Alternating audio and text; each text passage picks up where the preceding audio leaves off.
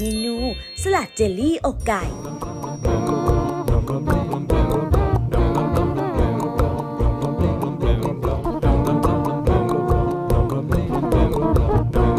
สนับสนุนโดย a m a d o Quality ใส่ผงวุ้น เกลือป่นเสริมไอโอดีน น้ำผึ้งและน้ำต้มอกไก่ลงในภาชนะ คนให้เข้ากันนำขึ้นตั้งไฟปานกลาง คนตลอดเวลาจนส่วนผสมเดือดทั่วแล้วปิดไฟ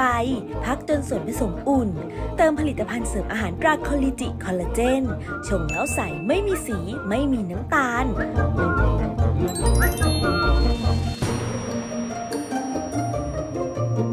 คนผสมทั้งหมดให้เข้ากันแล้วพักไว้ ใส่อกไก่ต้มสุกลงในพิมพ์ซิลิโคนที่เตรียมไว้ ตามด้วยส่วนผสมที่พักไว้ประมาณ1ส่วน4ของพิมพ์ พักจนส่วนผสมทรงตัวดี ใส่ถั่วลันเตา ตามด้วยส่วนผสมที่พักไว้ ประมาณ1ส่วน4ของพิมพ์ พักไว้จนทรงตัวดีค่ะ ใส่แครอทตามด้วยส่วนผสมที่พักไว้ พักจนทรงตัว ใส่บรอกโคลีลวกสุกตามด้วยส่วนผสมที่พักไว้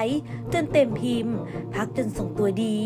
แกะสลัดเจลลี่อกไก่ออกจากพิมพ์ แล้วตัดใส่ภาชนะ รับประทานคู่กับผักสด พร้อมเสิร์ฟค่ะ